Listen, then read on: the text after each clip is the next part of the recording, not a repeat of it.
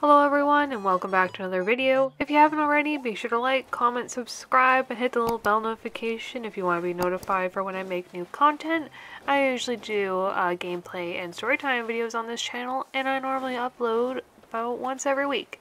And in today's video, I am going to be designing my little secret beach, which disclaimer, I ran through about three different design ideas when I was doing this. Um, and I finally settled on a kind of like bus stop, train stop little idea, which is a common theme on my island. Um, it's the only cohesive theme that I have going on, and it was fairly fitting because I use a warp pipe to get to my secret beach. Um, I, I don't know if you can tell there, but I was initially going to dig out a whole thing for staircases, and I was, no. I abandoned that idea, never filled it in and now just use a warp pipe because I have it directly at the front entrance by my house on the island and it's easier for me to just hop on and off if I have to go see um, Red. So as you can see here, I initially was going to go with like a weird like beachy theme and that's only because everywhere I looked on Pinterest for design ideas for a secret beach, it was all like this deserted, piratey treasure island thing. And a lot of people already either dug out like clear access to the beach or they had this elaborate staircase which I was not. No thank you. I do not have time or space for this. Um no. Just no. But it was consistently the same like three themes. And I was like you know what if it's trendy I'll do it you know, we'll we'll make a little secret beach getaway thing. Also, I don't like how you can't put the pattern all the way up to the waterline. That was definitely the most annoying thing out of laying down like custom patterns on this section of my island. It, this area was also so small to work with that it was oh, it was probably this is definitely one of my top three most annoying areas to design on my island. Um, it's definitely tied up with like all the little rock areas just because they're so awkwardly shaped. You go to try to put down a pattern, it won't let you. You go to put down an item, it won't let you. You try to rotate an item, it won't let you because the space is just so small. I'm going off on a rant because that's how mad I was about it. but rant aside, I know I mentioned in my last video that I ordered a ring from Vivienne Westwood that they told me would be in in like two months. Guess what, folks? It came in in like four days. I was pleasantly surprised.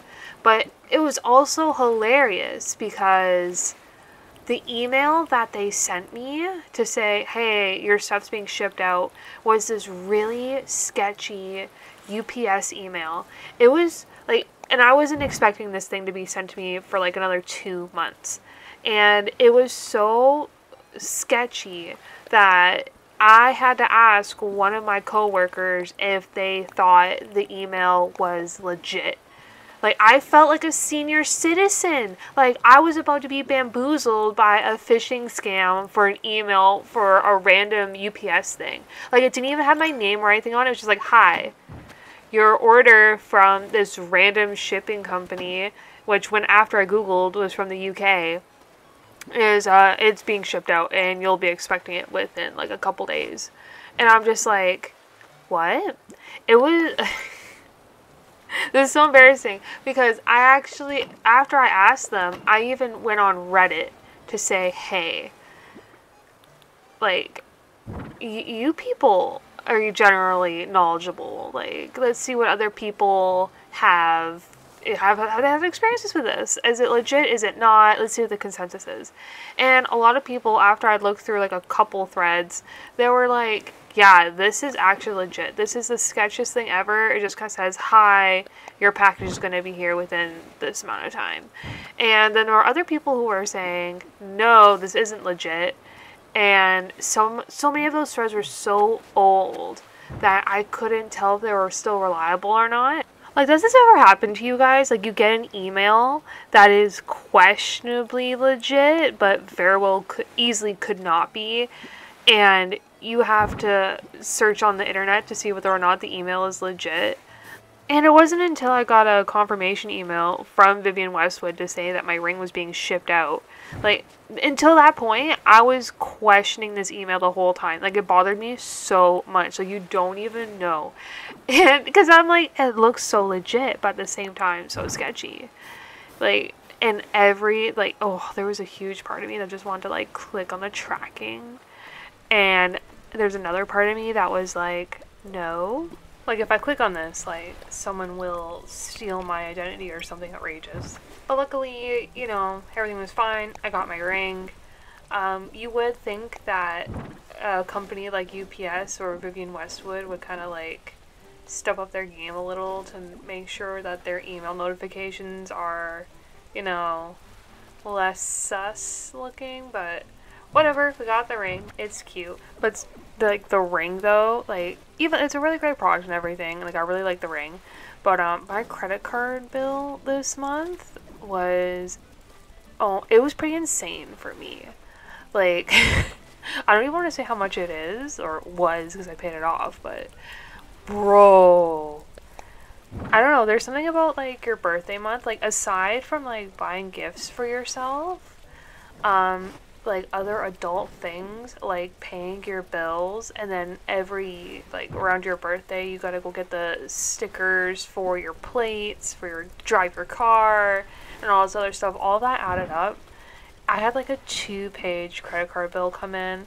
I had to take a seat. I was like oh my god what have i done I was like triple checking the amounts because I couldn't freaking believe it. And I'm like, this doesn't add up. And that's when I realized that the bill was actually two pages long. Um, and I think the worst part was that even though I had the pricing on like the website for the ring, like I had it set to Canadian dollars and it said Canadian dollars. Um, it was actually in US dollars. Um, that was really unfortunate.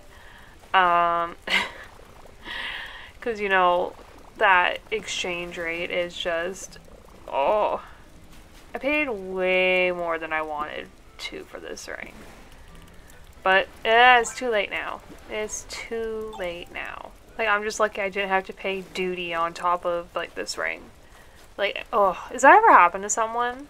Like literally, there's been the one time I got an item, it got sent to my house I waited forever for this shirt, and and I, after because it came to my house, I didn't think I'd have to pay duty on it, but then apparently FedEx was calling our house to say, "Bro, like you owe duty on this product," and my mom like like this was like years ago. Like my mom thought it was like a scam because apparently there was like this huge thing going around where like companies were or fake companies were calling home saying, "Oh, you have something held up at the border. Go pay blah blah blah blah." blah.